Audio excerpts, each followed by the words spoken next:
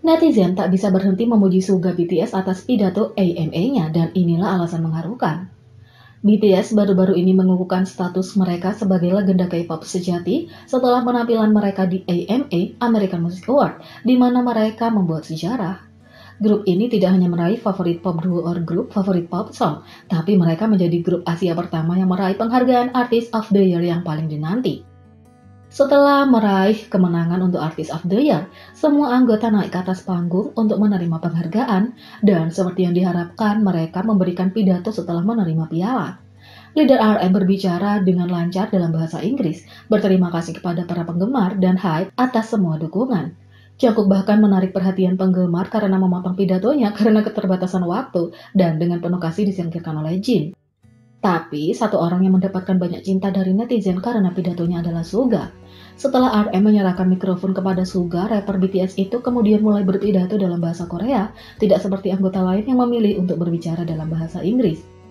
Pertama kali kami debut di Amerika 4 tahun lalu di AMA, dan kami benar-benar tidak menyangka bisa memenangkan penghargaan Artist of the Year seperti ini. Kami pikir itu semua berkat ARMY. Terima kasih, ARMY. Netizen menghargai dan mengagumi para member karena berbicara bahasa Inggris di acara penghargaan Amerika.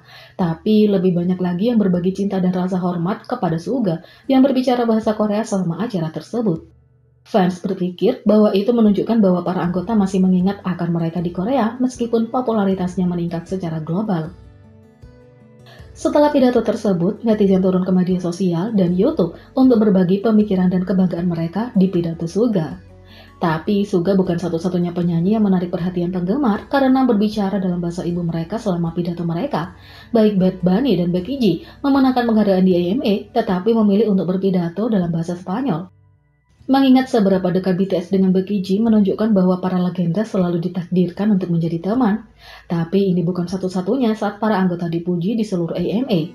Sejak awal, para penggemar memperhatikan betapa sopannya grup tersebut untuk memposting foto selfie dengan selebriti yang menjadikan acara tersebut sebagai perjamuan pribadi mereka. Dari Jojo Siwa, Sam Stackman Boys to Men, dan banyak lagi. BTS membuktikan bahwa semua kerja keras mereka selama bertahun-tahun telah terbayar saat mereka meraih hadiah terbesar di AMA. Tapi Suga juga membuktikan bahwa mereka tidak akan pernah melupakan akar Korea mereka dan orang-orang di Korea yang mendukung grup tersebut. Selain itu, RM membuktikan bahwa dia masih raja yang rendah hati selama pidato penghargaan favorit pop duo or grupnya.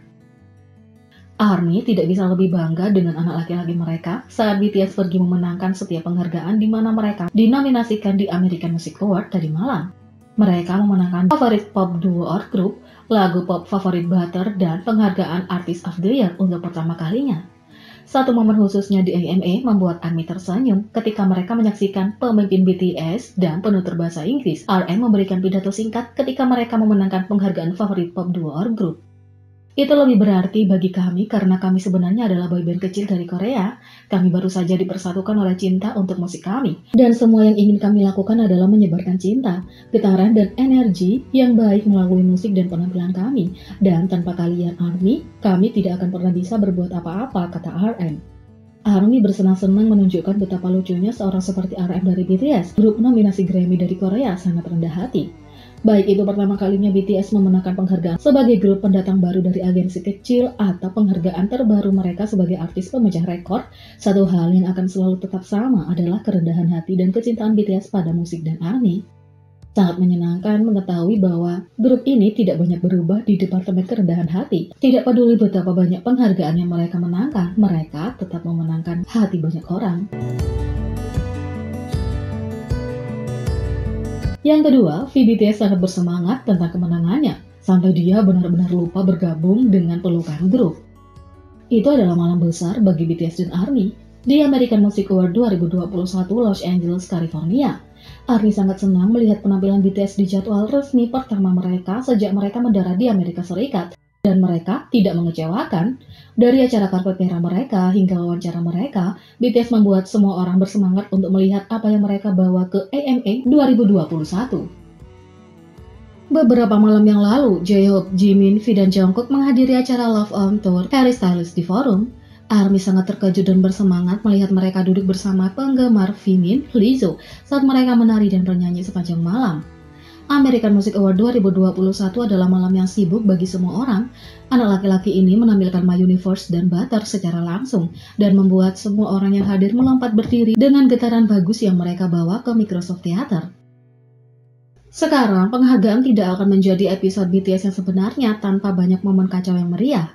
Salah satu momen itu adalah ketika pemenang penghargaan untuk favorit pop duo or group diumumkan, V membuat semua orang menertawakan kegembiraannya. V sangat bersemangat sehingga dia teralihkan dari pelukan grup, berjalan ke atas panggung untuk menerima penghargaan. Army dengan cepat menunjukkan momen lucu dan menyadari bahwa alasannya pasti karena V telah merekam anggotanya yang lain tepat sebelum pengumuman pemenang. Tapi itu tidak menghentikan Army untuk membuat komentar kocak tentang momen tersebut di berbagai platform media sosial.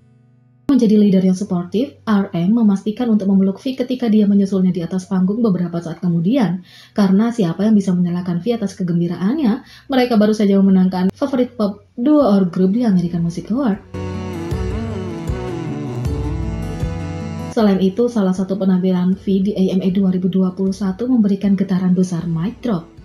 Kalau kamu menonton AMA 2021, kamu mungkin melihat BTS mengubah seluruh pertunjukan menjadi pesta BTS pribadi mereka sendiri.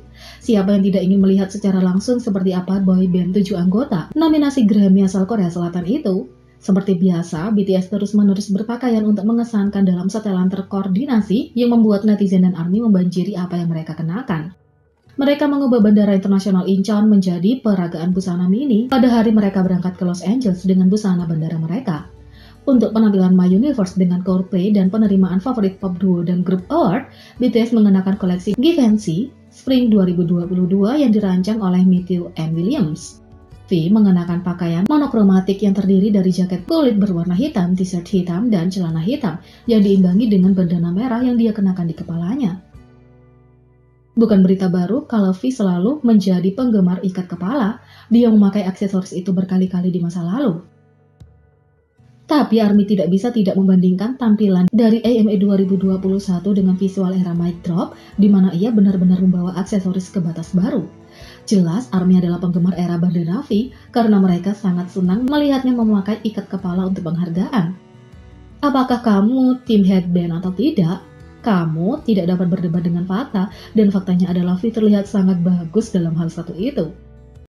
Jadi, bagaimana menurut kalian tentang ini? Beri komentar di bawah, klik subscribe, like, share, dan klik lonceng. Mari kita sama-sama jadikan channel ini berguna bagi K-popers Indonesia. Sekian video kali ini, sampai jumpa lagi.